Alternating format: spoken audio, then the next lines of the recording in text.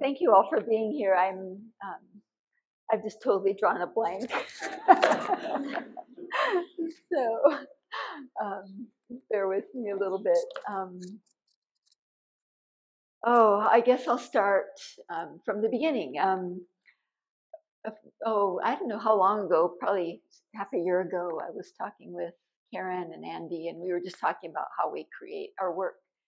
And um, you know, I know Andy listens to audiobooks, and I listen to audiobooks or music, and and Karen says I do my work completely in silence. And I was so intrigued by that because I've always had something in the background, and so I um, I said, okay, I'm just going to try it. I'm going to, you know, just give it a go. And um, this work takes a long time to make. it's quite the contrast of yours, which I would love to have that spontaneity, you know, Kalaya. But um, this is a very, some of it is painstaking, and some of it at the same time, it can be very spontaneous. So um, I think that the idea that I captured from Karen was just that when you're working in silence, you're just fully present you're just working that grain of your sensitivity and your sensibilities and your stories and um, it's a it's kind of a a vulnerability that um, can be kind of surprising and kind of terrifying at the same time because um, you know your mind wanders to reminiscing whether grief or beauty or lonesomeness you know some friends that you miss or somebody you know that you have a connection with that you don't have in your life anymore. And so um, a lot of this work is out of that. And there were um, i think um, you know they it usually starts with a question about something or a thought about something and then the idea just comes to say oh okay i think this is what i want it to look like and so um, it's which was really interesting to listen to Becca because your work you create as you're responding to it and um, I don't have a pre-established like my materials aren't pre-established but they're um, I'm just kind of going in a certain direction with the composition. And um, so but just um, Going backing up a little bit to the idea of substrate, I brought a picture of a tree, and I you guys can pass this around if you'd like. But this was in um, southern Brazil where I grew up, and there was this tremendous forest that was um, cut down to plant the green gold, which was coffee. And so um, some of the wood from this forest they used for the urban construction, just the civil construction. And so um, that particular tree is called a pitauba. And the soil there was so rich, it was just dark purple. And, um, you know, it's like 20 feet of topsoil. It's just phenomenal. And um, these trees have all these little root filaments in the soil. And wherever there's a concentration of minerals, they'll pick up those minerals and they'll create the figuring within the wood. And I like to use all my wood, or most of my wood, very few exceptions, at the cross cross grain. I like cross cuts so that I can see just wood from a perspective that you don't normally see. I like to see the little rings or the, and so um, you know that that like that circle in this long piece. That's from that kind of a tree, and two pieces. The one in the between the two darker pieces the very weathered surface and then the one inside are also that same kind of tree. So um, the thing about this wood that's interesting is that it can sit in the elements for you know 60, 70, 80 years and it won't rot. So I can take that weathered piece of wood and just sand it a little bit and it's just this beautiful dense satiny it almost feels like like skin you know it's just such a beautiful wood. And um, I just want to connect that with something I've heard recently that, um, you know, it's it doesn't take long for us to see each other's faults, but to see each other's virtue, it just takes time. It takes a while. and so um, I can look at this old wood and I can just, you know, it's kind of ugly and you know um, uninteresting and um, but as I spend time with it, it's just like just opens up all this beauty. And um, I think um, you know it's easy. Uh, just recently, I was in a meeting and a person next to me came in and just had a lot of odor, you know, and it was just interesting because everyone else in the room spoke so kindly to this woman and I realized she has something so beautiful in her. And I just was so quick to, you know, like not, not think too highly, you know, because of a, a passing trait, a passing moment.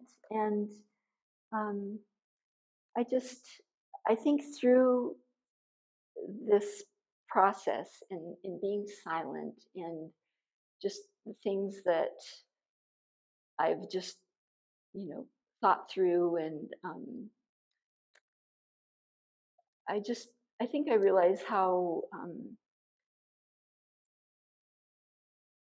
i just want to be a person who not only has the freedom to be vulnerable but gives each other the freedom and the grace to be vulnerable you know to to just um, you know really see each other. And my husband's in the back corner. And one thing I deeply appreciate about him is how he really looks to see the person, you know, and just look deeply. And um, he sees the substrate and he encourages that and speaks, you know, calls that out. And um, so, um, yeah, I guess um, it just takes a lot of courage and vulnerability and um, sometimes it's scary and it's scary to paint a lot of black sticks and spend a lot of time painting black sticks and you know or to pour paint over your gold leaf you know and see what happens. And so um, and you know the vicissitudes of life do that to us you know they just they come and they transform us too. So um, that's kind of a little bit of what's, you know, just thinking through um, in a very summarized way. Um, these pieces, um, the gold has always been something that I've enjoyed working with in my life. I think it just has um, reference to eternal for something that's so much more expansive and greater. God you know, just a whole, um, you know, it encompasses all that we move in, that we breathe in, and just, you know, there's something that's so um, whole about our existence here. And um, I know even if it's just a little sheet, I, I just like the, you know, just to use it as language. And um, I've used milk paint and I, I literally put varnish on this gold and then just poured milk paint on it, let it sit for a while. Sometimes poured water on it, see what happens, shake it, tilt it, you know, just to see what was happening in the background. Some I left purposely um, in a puddle and it just crackled, which was in this case of this one with the circle. And um, so it was, you know, kind of exciting and joyful at the same time just to see what was going to happen. And um, so, and then the, I don't know, I think the, the black um, has a, a um, um, I don't. The word isn't formality. I mean, we we paint because we don't use words well. At least I don't. You know. so um, I don't know. It just there's just a, a, reverence in it. You know, there's it's just a there's a simplicity to it as well. And so I kind of wanted to just use black and gold as a as a language. And then there were a few spots where I had a little bit of pink. You have to look for them, and that's influence from my friend Karen too. And um, so that's kind of a little bit on these. Um, the sticks, I've for a long time I just worked more with the very precise, you know, polished surfaces, and um, and after a while I just found that the sticks gave me a spontaneity that I didn't have with the, you know, with these cut, you know, pieces, and the same with the dots, and so you know, and some of them I would just pick up the sticks and would just kind of throw them on there and see what it looked like, and then you know, kind of start composing and moving things, and and um, then attaching them is a whole different story. So you know, they say the height of creativity is the moment of conception. Everything else is blood, sweat, and tears. that's so true. And um, and um, so um, yeah, I just um,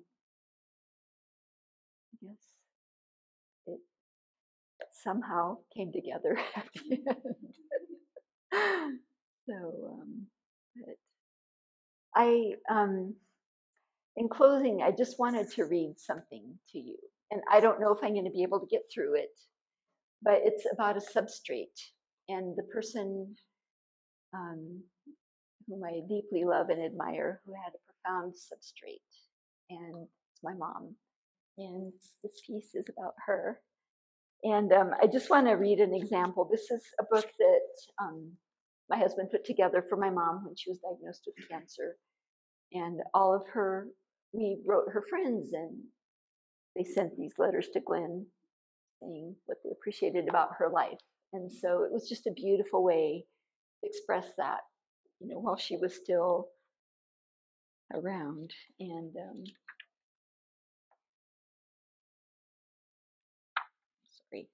did have it. Take care of it.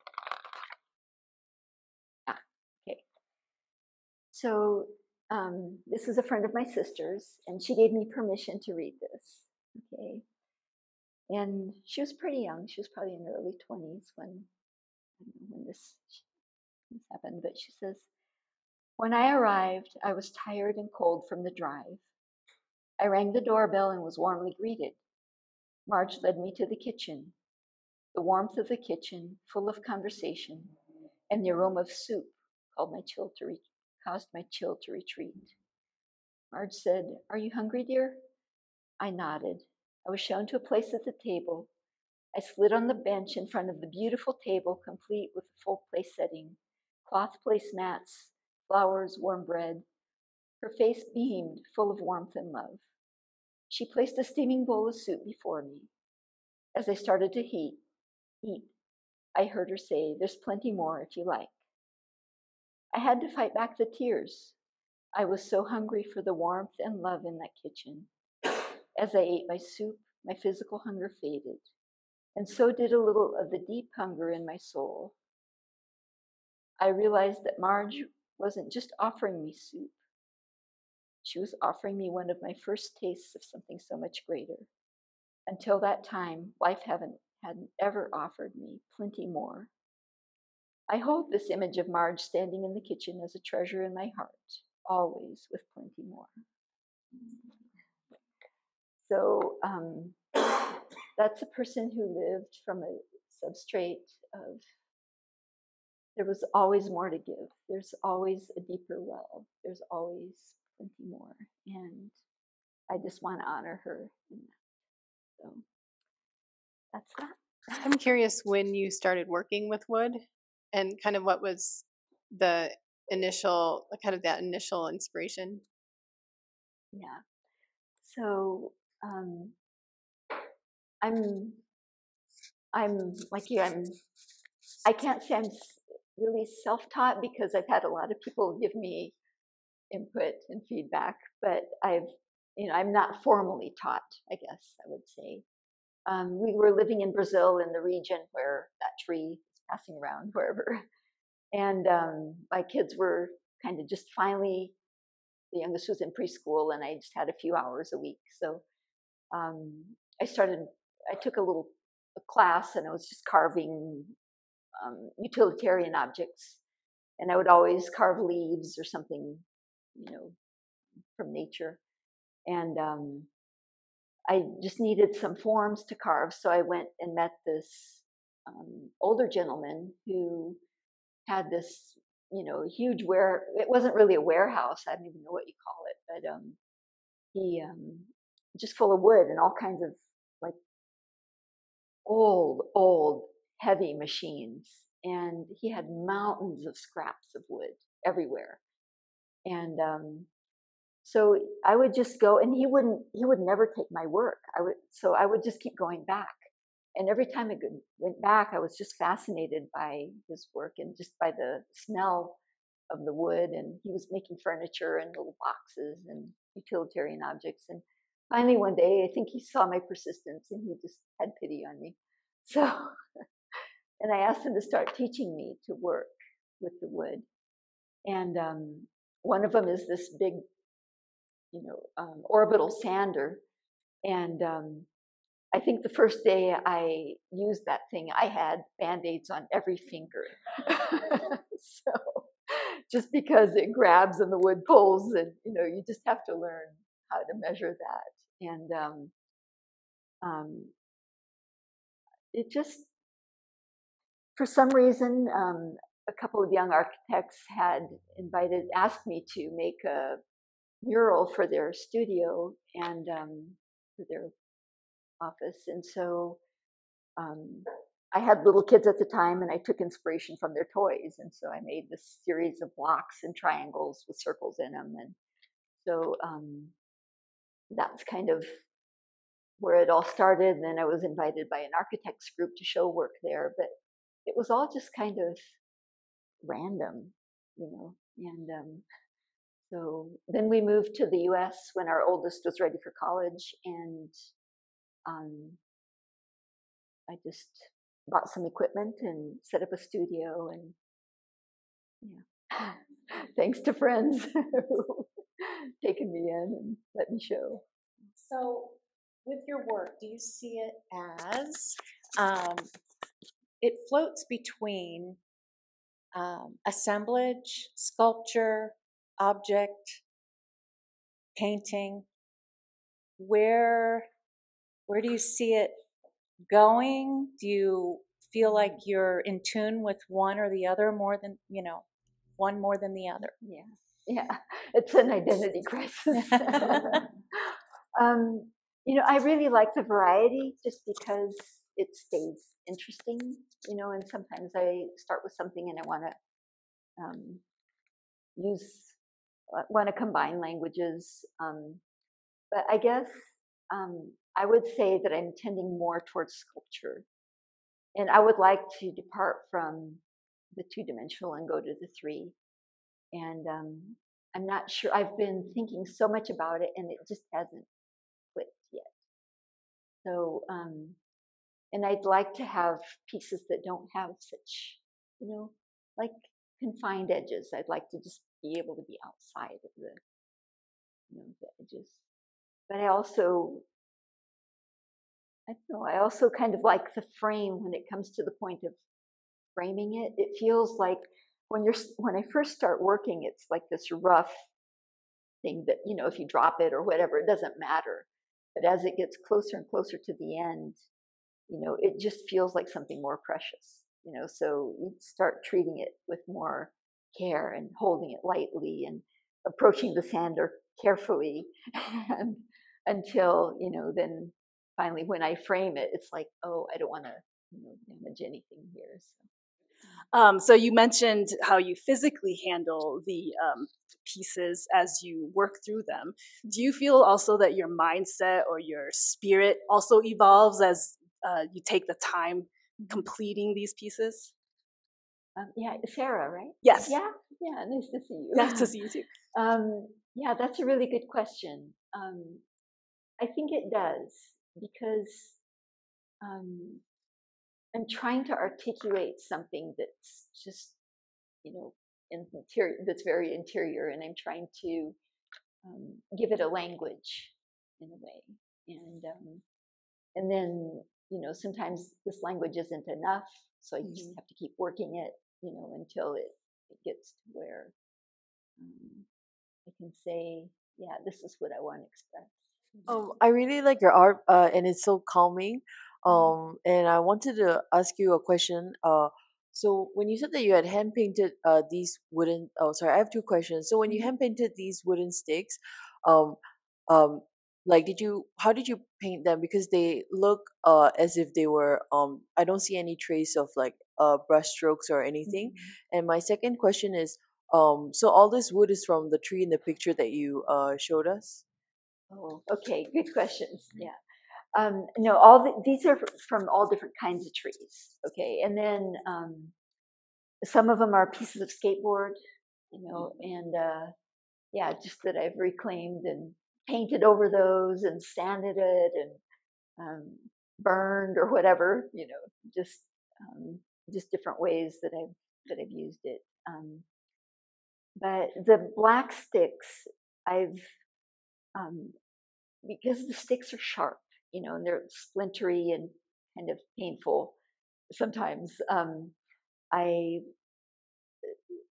at times, I've left them where they're very raw, and other times I've just reseeded and I've sanded. After I painted the first coat, I'd sand it and then just apply a very watery coat over the top, and it just creates this kind of a softness to it. But um, I also apply a varnish to all my work just for preservation, and that does tend to make it. Sometimes I think it's too uniform, and I don't really like that. But um, so I'll go back and use something else on it to try to draw it out. But um, yeah, it doesn't. Yeah, I've I've had pieces that are a little more. raw.